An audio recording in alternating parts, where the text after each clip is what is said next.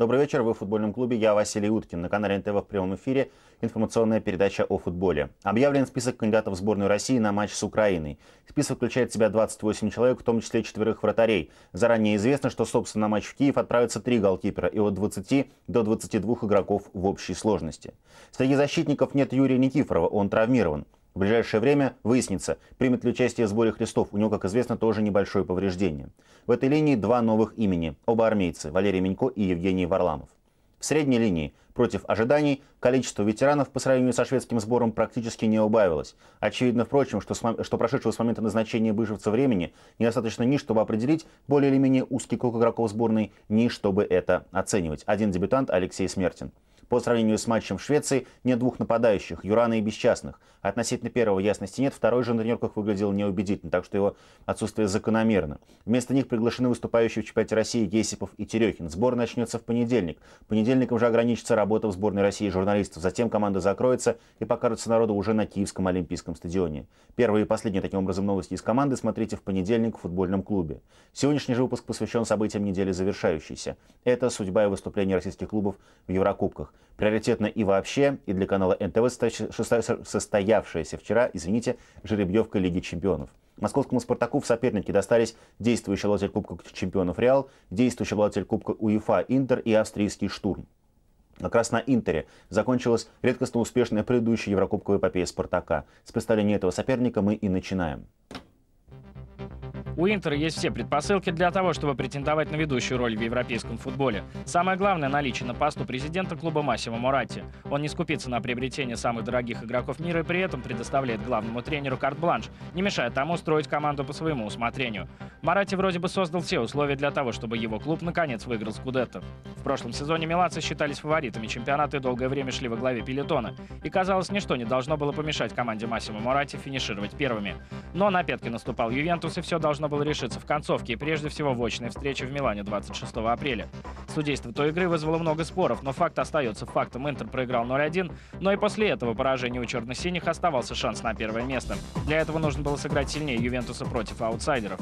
У Интера не получилось. Команда растеряла очки в матчах с Барри и Пьяченцей, подчеркнув, что ее проблемы прежде всего кроются в области психологии. Лишний раз у итальянских журналистов появился повод утверждать – Интер не турнирный боец. Команде в который раз не удалось точно рассчитать свои силы на всю длину марафонской дистанции. Выигрыш Кубку УЕФА стал для Интера слабым утешением. В межсезонье миланцы остались фактически без каникул. Клуб полностью оправдывает свое космополитическое название. Представители Интера пополнили шесть сборных, участвовавших на чемпионате мира во Франции. На основании того, как все они себя проявили, следует признать, что звездный статус многих футболистов Интера несколько преувеличен. Ничем не запомнились Уэст и Симеоне, Винтер и Кану почти не играли из-за проблем со здоровьем. Дзанетти выстрелил только в одном матче. Джаркаев не блистал, как, впрочем, и в течение всего сезона в Интере. Мурьеру хоть и старался, но в целом выглядел так же бледно, как и его сборная. Что касается других футболистов, которые по разным причинам не играли во Франции, то и к ним характеристика суперзвезд вряд ли подходит в полной мере. Соуза уже давно в тени молодого поколения сборной Португалии, а уругвайец Рикоба, напротив, еще слишком юн, чтобы выходить на первые роли.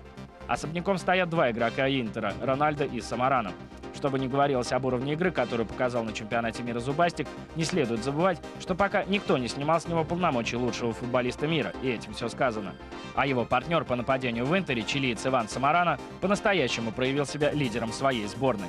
Получается, что статус команды суперзвезд, присвоенный Интеру, несколько надуман.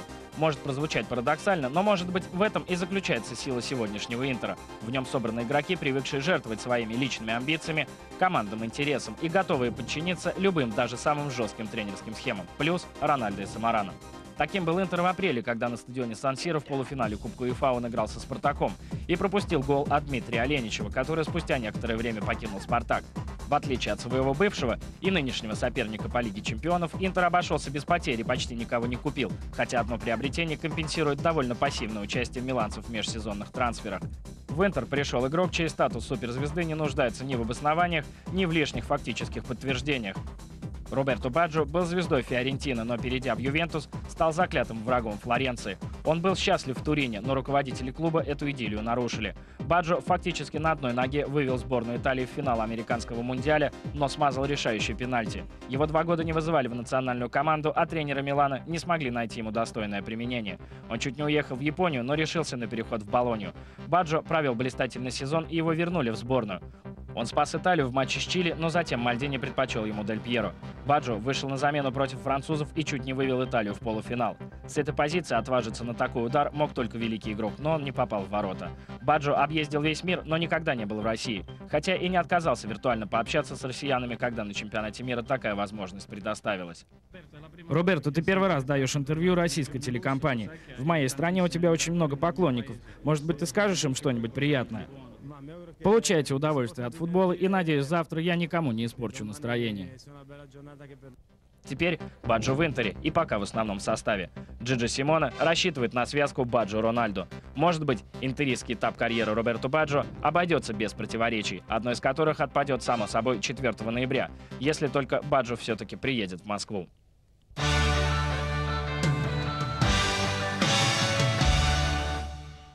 Интера ждут в наступающем сезоне прогресса. У команды есть все предпосылки для победы в Кубке чемпионов.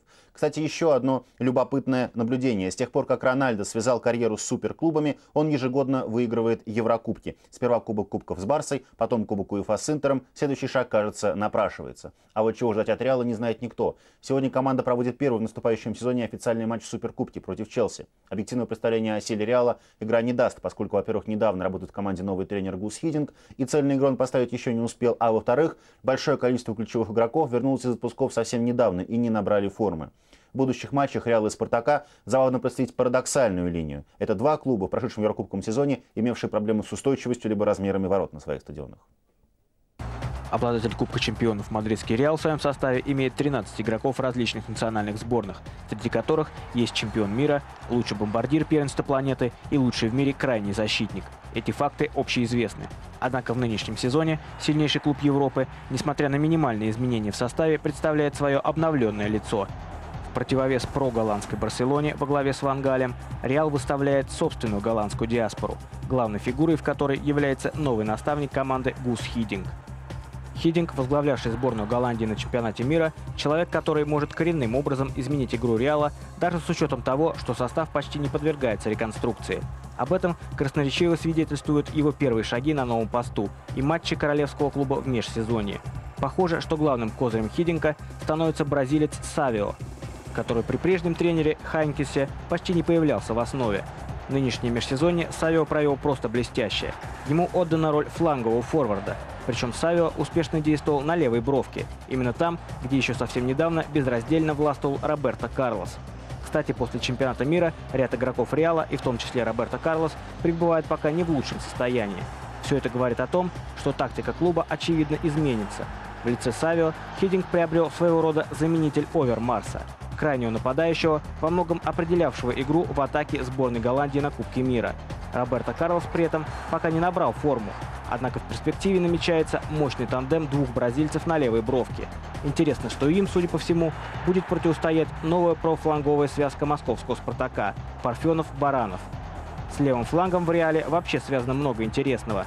В частности, в прошлом году двух игроков, играющих слева, Роберто Карлоса и Зе Роберто, клуб вынужден был отпустить на три недели в сборную Бразилии на Кубок конфедераций. Образовавшуюся брешь хотели заполнить путем приобретения готового футболиста на эту позицию – Именно тогда возникла кандидатура спартаковца Ильи Цимбаларя, который на тот момент был травмирован. В итоге в Бразилии был куплен Савио, и с его дебютом связан примечательный момент. Уже в первом своем матче бразилец пострадал от грубого приема защитника Бетиса, и этот эпизод местные репортеры прокомментировали так «Савио, добро пожаловать в Испанию». Нынешний статус Савио в команде – подтверждение мысли, что Реал берет на вооружение голландскую модель игры, ведь во время Кубка мира знаменитый голландец Йохан Кройф заявил, что стильные крайние форварды едва ли не важнейшая составляющая прогресса современного футбола. О том, что Хидинг разделяет взгляды Кройфа, свидетельствует интерес, который Реал совсем недавно проявлял к игроку Милана Ибраиму Ба. Очевидно, что Ба по замыслу тренера должен был обеспечить остроту на правом фланге атаки клуба. Пока же фаворитом Хидинга, судя по всему, является Савио. Некоторые считают, что игра на фланге исключает возможность импровизации, говорит Савио. Однако я с этим не согласен. По большому счету мне все равно, где играть. Но и на фланге я себя чувствую превосходно. Я стараюсь подходить к игре творчески, а когда рядом с тобой высококлассные партнеры, это только прибавляет желание творить. В числе приобретений Реала числится еще один форвард – камерунец Самуэль Этоо, который неплохо провел предсезонку и считается сейчас, если не основным игроком клуба, то ближайшим резервом Хидинка. Который позволит ему варьировать тактику.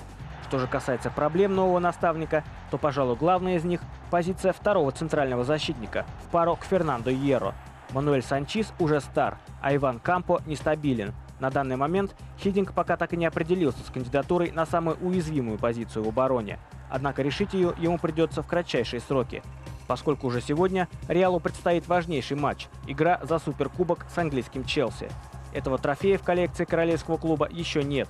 И говорят, что когда Хидинг принимал бразды правления в команде, президент Реала Лоренцо Санс привел голландца в клубный музей и заявил – здесь должен стоять Суперкубок. Послужной список Гуса Хидинга, казалось бы, позволяет рассчитывать на успехи Реала под его руководством. Однако применительно к испанским клубам его достижения скромны. В начале 90-х он возглавлял Валенсию, из которой был уволен после разгромного поражения в Кубке УЕФА от итальянского Наполи 1-5. Зато именно при Хидинге в 1988 году голландский ПСВ Эндховен выиграл Кубок чемпионов. Максимальный результат – то, чего ждут от Хидинга в Мадриде, и что так нежелательно сейчас для московского «Спартака». Однозначно можно сказать то, что для Реала начинается новый этап в истории. Он будет связан с именем титулованного голландского специалиста. Хидинг из тех, кто приходит выигрывать. И сейчас для больших побед у него вполне достаточно аргументов.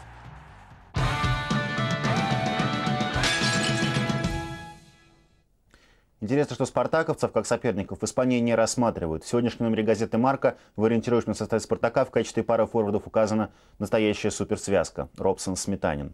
Главная интрига по версии марки Рональдо против Мадрида, сохраненная еще с тех, с тех времен, как лучший друг стоматологов играл за Барселону. В Австрии к «Спартаку» тоже отношение специфическое, как поставщику очков. Болельщикам «Штурма» кажется, что если их команда кого-то и победит в розыгрыше лиги, то именно россиян. Грацский «Штурм» – наименее известный и сильный соперник «Спартака» в группе. Как играет австрийский клуб, в России, наверное, мало кто имеет представление. Зато наши болельщики должны помнить лидеров «Штурма» по их играм за сборную Австрии на последнем чемпионате мира.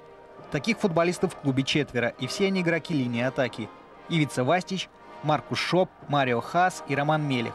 Шопа в России помнит еще по Гамбургу, в составе которого он приезжал в Москву на матч со «Спартаком» в 96-м. Австрийская сборная во Франции запомнилась прежде всего своим упорством, умением вести борьбу до конца – не случайно все три своих мяча подопечные Херберта Парахаски забили на 92-й минуте матчей, вырвав ничьи у сборных Чили и Камеруна. Один из голов на счету Вастича. Довольно тревожный фактор, если учитывать, что Интеру Спартак проиграл, пропуская мячи на последних минутах таймов. На чемпионате мира Австрия не сумела выйти из группы, но все равно выступление сборной было признано в стране удачным, учитывая провалы предыдущих лет. Специалисты связывают этот прогресс с возросшей ролью провинциальных клубов в национальном первенстве. «Штурм» в прошлом году выиграл и чемпионат, и Кубок Австрии, опередив второй клуб «Рапид» на 19 очков. В 36 матчах команда забила 80 мячей, а пара форвардов Вастич Хаас была вне конкуренции в споре снайперов. Еще двумя лауреатами прошлого сезона стали конструктивные полузащитники клуба «Мелих» и Ран Майер, признанные лучшими в Австрии своих амплуа. Взлет штурма объясняется двумя причинами. Первый клуб очень прочно стоит на ногах в финансовом отношении – Именно «Штурм» пару лет назад скупил всех лучших австрийских футболистов, играющих на родине. У «Штурма» великолепно развита клубная инфраструктура. Постоянно идет работа с болельщиками, и, как следствие, стадион в Граце переполнен. Стадион, на котором «Штурм» проводит свои матчи, носит имя Арнольда Шварценеггера. Грац – небольшой университетский городок, хотя с населением в 200 тысяч он является вторым по численности в Австрии. И «Терминатор» пока самый известный из всех людей, которые когда-либо родились здесь. Суеверные горожане верят, что магия имени Шварценеггера помогает и штурму. Вторая причина успеха называется Ивица Осим. Это очень авторитетный тренер, тренировавший сборную Югославии перед началом гражданской войны в этой стране и, по слухам, бывший в числе кандидатов на пост наставника Реала. Игроки его просто чтят. Если бы не Осим, мы не стали бы лучшими в стране, говорит Ранмайер. Он настоящий специалист, он много времени уделяет тренировкам, тактическим занятиям. От него не ускользает ни одна мелочь. Наш плюс в Еврокубках считает сам Осим в том, что нас никто не берет в расчет. Фаворитами считается кто-то другой, но никогда не мы. Ну и хорошо, им тяжелее. Пусть нас недооценивают, нам так легче.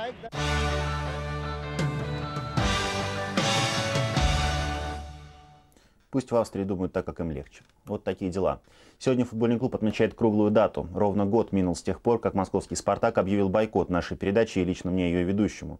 Причиной послужил материал, показанный после памятного поражения «Спартака» от Кошицы год назад в квалификационном раунде прошлогодней Лиги чемпионов. А темой материала был анализ причины поражения сквозь призму личности главного трагического героя всей тогдашней ситуации Олега Романцева. С самого начала было ясно, что «Спартак» без футбольного клуба и футбольный клуб без «Спартака» проживет. Пострадает только никак не задействован в этом конфликте болельщик, который не узнает о самой популярной команде и самой популярной телепередаче. За этот год съемочная группа футбольного клуба ни разу не приезжала в Тарасовку и только однажды, после чемпионского матча в Волгограде, получила возможность взять после матчевого интервью у игроков. И тем не менее сейчас, когда эта ненормальная ситуация длится уже год, многие болельщики, узнавая, что между «Спартаком» и нашей программой не все, слава богу, удивляются и переспрашивают, как так и почему. Это скрытый комплимент нам, по-моему. Я считаю, что по профессиональной деятельности, э, по профессиональной деятельности нельзя сделать выводы о личном отношении к тому или иному. Это и есть та нейтральность, объективность, к которой мы стремимся, и во, во многом это и есть в нашем понимании профессионализм. Мы с «Спартаком» с своей стороны не ссорились и готовы работать с командой, как будто ничего не происходило. Я прекрасно понимаю, на, что и почему мог обидеться в моем материале годичной давности Олег Романцев. Вместе с тем, мне кажется, что год – достаточный срок для того, чтобы покончить с личными обидами и не распространять их на профессиональные взаимоотношения. Я бы с удовольствием принес свои извинения за материал, если бы в чем-то солгал или подтасовал факты, но этого не было. Право же журналиста на изложение своей точки зрения неприкосновенно, как право футболиста играть. Это позиция, объективная позиция программы и канала. Свою собственную, необъективную и субъективную точку зрения на ситуацию я изложу в одной из газет на следующей неделе. Использовать для этого передачу, где Олег Романцев не может мне ответить, было бы некрасиво. А «Спартаку» удачи в Лиге чемпионов независимо ни от чего, потому что предпосылки для удачи, конечно же, есть. Тему завершает рассказ Ильи Казакова о матче «Спартака» с Литексом. Ответный матч «Спартака» с Литексом, лишенный всякого интереса, собрал не так много народа. Рядовых болельщиков на трибунах почти не было. Посадочные места оккупировала бодрая братья в красно-белых шарфах. В первые минуты встречи даже не верилось, что играется отборочный матч Лиги чемпионов. Болгары по сравнению со «Спартаком» выглядели футбольной командой ветеранов фабрики мягких игрушек.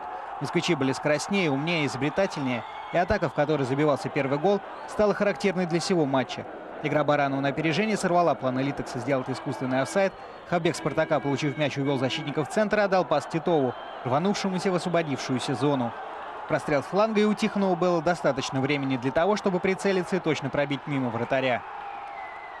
Акцент на фланговую игру оправдал себя на 100%. Оборона Литекса за все 90 минут так и не смогла приспособиться к спартаковским стенкам, забеганием и скрещиванием. Было ощущение, что болгары вдобавок хуже готовы физически. И после каждой атаки с фланга, даже после розыгрыша стандартных положений, штатной гостей начиналась цирковая суета, инициатором которой нередко становился вратарь Литекса Вутов. Тем неожиданнее выглядел спад в игре спартаковцев в середине 45 минутки.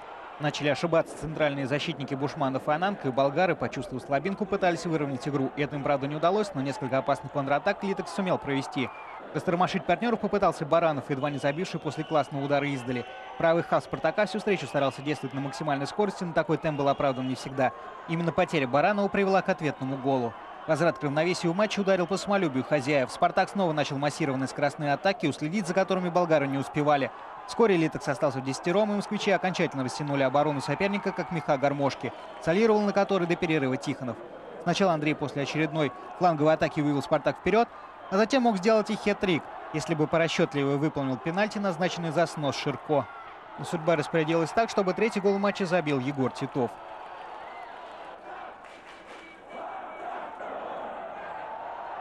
После перерыва страдания болгар продолжились по-новому.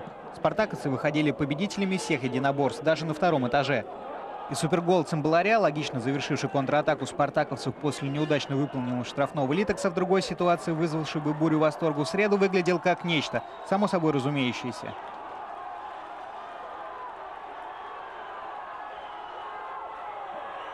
Интерес к игре при таком развитии событий могли подогреть только замены. Олег Романцев выпустил на поле двух бразильцев, Робсона и Самарони, и действительно стало не только по-новому интересно, но и весело. К счастью для болельщиков «Спартака», Робсон на лапке запасных растерял только остатки своего мастерства. Везение осталось при нем. Бразилец умудрился сделать трудовой дубль с огромным трудом, забивая голы в пустые ворота из пределов вратарской. Свой второй гол Литок забил опять же из центральной зоны после ошибки москвичей. 6-2. Счет мог бы идти крупнее, если бы не жуткий ливень под занавес матча. Говорят, что дождь спартаковская погода, но не настолько же. Уверенно победив Литекс, Спартак не вошел в Лигу чемпионов, а буквально въехал в нее, словно на скоростном лифте.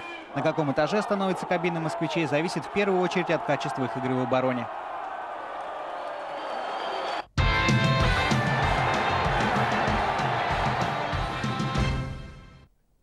Сегодня была проведена жеребьевка двух младших Еврокубков. Кубка Кубков и Кубка УЕФА. Соперником московского «Динамо» в Кубке УЕФА стал рижский «Сконта» который на, э, в квалификационном раунде Лиги Чемпионов уступил Интеру. Вот такая ирония в определенном смысле судьбы. Московская «Динамо» всегда являлась, является историческим соперником «Спартака». И вот теперь «Спартаку» в Лиге Чемпионов достается Интер, команда, э, одержавшая победу, а московскому «Динамо» достается «Сконта». Про «Сконта» известно, что это команда с очень прочной обороной, команда, которая регулярно приезжает в Москву на Кубок Содружества. Ну, правда, об обороне подобного вывода на материале игры с Интером сделать невозможно. Все мячи были забиты в ворота Сконта в первом тайме. Подробный материал об этой команде смотрите в футбольном клубе в понедельник. Ну а теперь о том, кто остался московскому локомотиву в Кубке Кубков. Ирония судьбы – это киевский клуб ЦСКА. Главная звезда команды – знаменитый Виктор Леоненко, чей звездный час наступил 4 года назад в памятном матче Лиги чемпионов «Динамо Киев-Спартак». Тогда два гола Леоненко во втором тайме переломили игру, и «Динамо» победила 3-2, хотя и э, два мяча проигрывала после перерыва. Сейчас Леоненко, э, два последних года практически не игравший, постепенно набирает прежнюю форму. Другой актуальный аспект единоборства – российско-украинское противостояние на клубном уровне.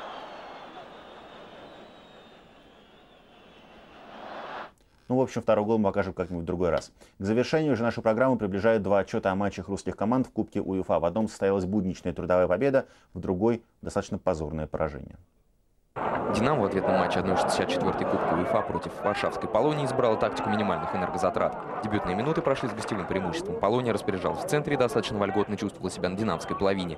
Серьезных голевых ситуаций поляки не создали, однако несколькими своими атаками всерьез раздразнили хозяйское самолюбие.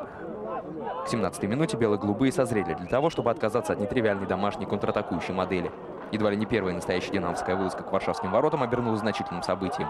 Счастный до мяча не дотянулся, но Кобелева за ноги схватил.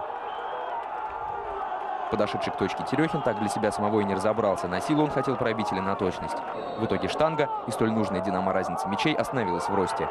Тем не менее, пенальти, пусть и нереализованный, обозначил переход инициативы к хозяевам. Персонально динамовское преимущество воплотилось в взаимодействии Кобелева и Гусева. Игроков, демонстрировавших наибольший созидательный потенциал. Наибольшую пользу Гусев принес, когда сосредоточился на подыгрыше. Под занавес тайма он мог стать автором голевого паса Данилявичусу, но литовец не своевременно упал. После перерыва долго не получалось конструктивной игры.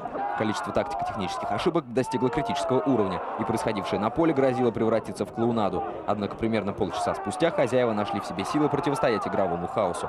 На поле появился Кульчий, что несколько встряхнуло атакующие линии «Динамо». И на 90-й минуте неудачный пенальтист Терехин завершил атаку, которую несколькими секундами ранее сам же и начал. 2-0 по сумме. Победа, вырванная зубами на первой же стадии, вряд ли сулит «Динамо» радужные еврокубковые перспективы.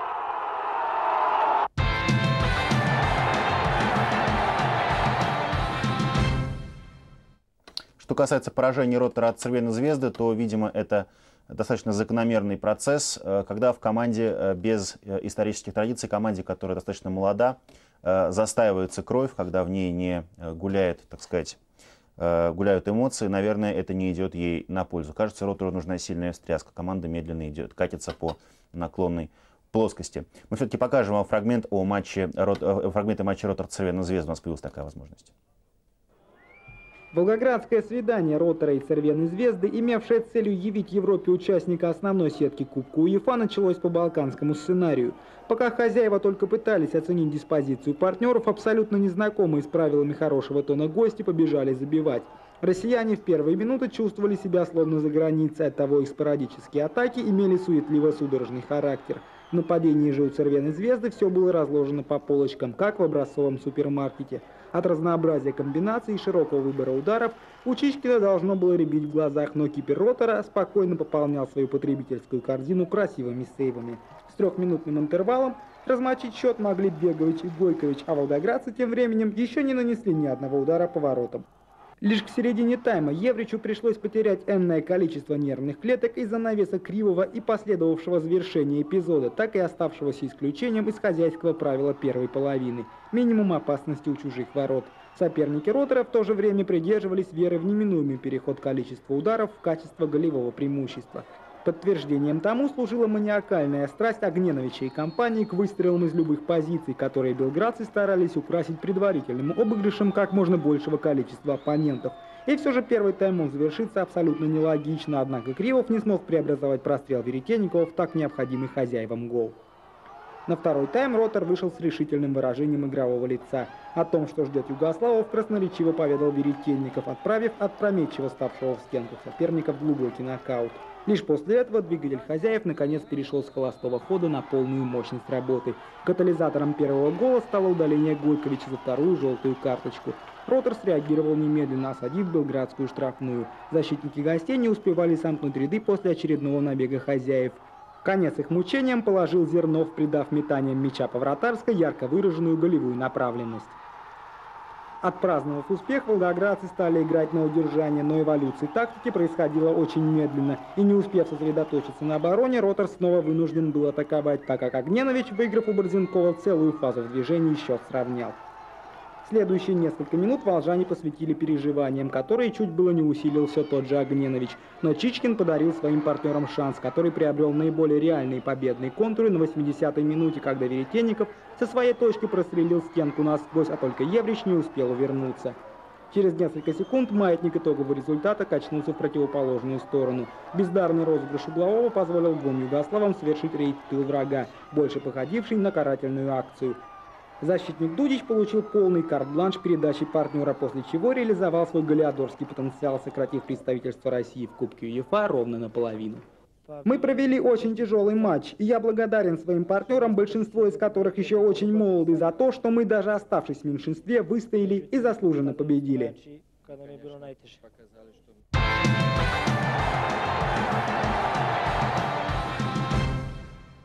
Начиная со следующей недели, понедельничные выпуски футбольного клуба будут выходить в эфир в 0 часов 40 минут. Мы надеемся, что вы сохраните нам верность и в ночное время. Счастливо, до встречи в понедельник. Играйте в футбол.